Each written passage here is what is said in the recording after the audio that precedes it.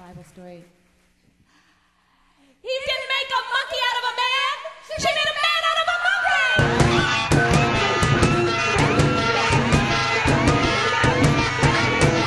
He can make a monkey out of a man. She made a